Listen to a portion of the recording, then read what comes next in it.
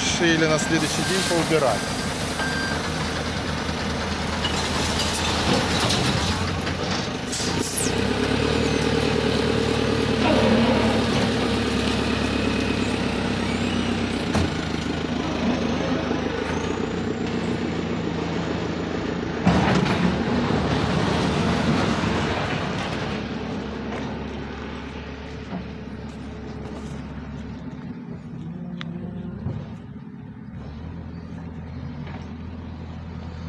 Сразу.